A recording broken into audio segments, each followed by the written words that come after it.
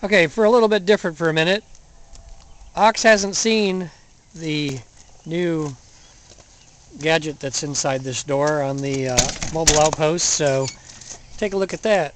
We cut out, without being on video, a fridge that they had a goofy little styrofoam lined icebox built into the counter of this thing back in 76 and we didn't particularly like that and it had the door broke off and whatever so we unceremoniously took a bar refrigerator that I bought for five bucks at a hotel liquidation sale and put it in our mobile outpost and it's kind of a little cluttered up yet. We've got bench grinder to install. There's a silver cooler for the rally car folding chair.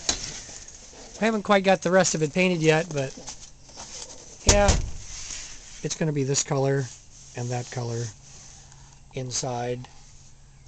And we'll get back to you on more details on that, but I think it was cool and worth showing to you, even oh, though we didn't video it when we were struggling every step of the way at trying to get our lovely refrigerator balanced Come with me, correctly. come with me.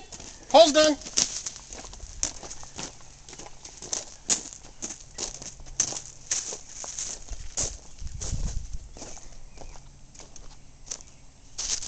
You invite Ox over, he cuts holes in your shit. No, that's not a cookie. A little chewed up, a little bang up. We'll get it all fixed. There's a chunk there. And a little chunk here, I'm being honest. Not too bad. I think it's great considering we didn't blow up any belt, any of the uh, lovely blades. We still got three blades to go. We can really fuck some shit up now. Yep.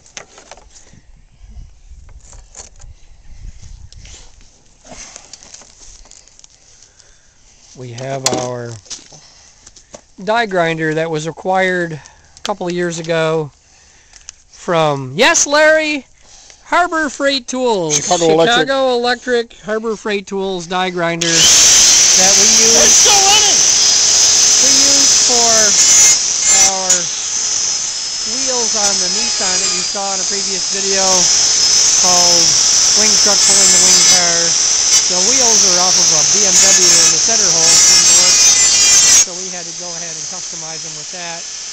Rather than send them out, we spent the $20 and bought a tool. So we're going to do a little dental work, so